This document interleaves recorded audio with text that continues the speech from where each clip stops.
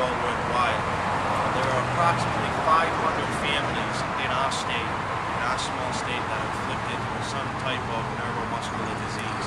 Over a million nationwide. So it's a fight uh, that we hold very dear to our hearts. Uh, I've said many times in the past, the, the theme and the cause of the MDA is very much the theme and the cause of firefighters. Uh, someone's in trouble, someone needs help, someone needs a helping hand, and uh, the men and women in uniform who protect this great state are out there every day doing that. Just like MDA are do- is doing that with people who are afflicted with uh, muscular dystrophy.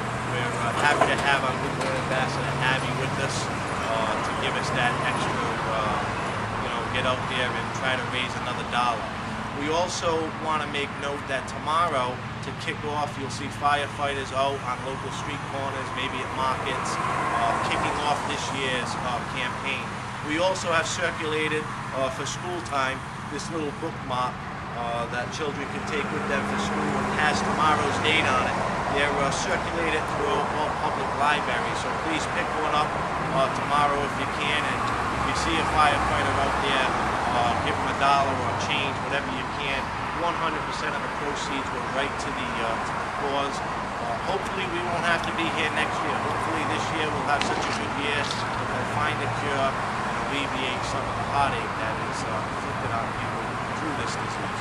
So having said that, I wish to uh, wish everybody well on this campaign, and I'd like to start off the uh, 2011 campaign with a crisp dollar bill, and I'll show you how it's done. It's pretty easy. If you see one of these gentlemen or ladies holding a boot, just drop it in, and uh, hopefully that dollar goes uh, right to uh, help find a cure. Thank you.